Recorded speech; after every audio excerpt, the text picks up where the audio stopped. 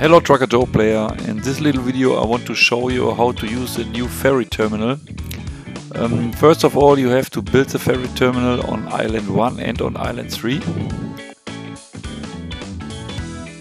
Then you need 5 tons of food and 5 tons of hydrogen for each crossing.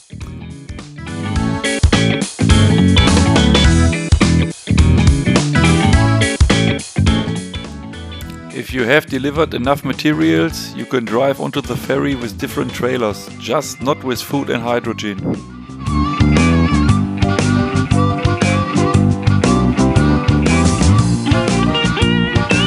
So that's it. Have fun with the new Trucker Joe ferry terminal.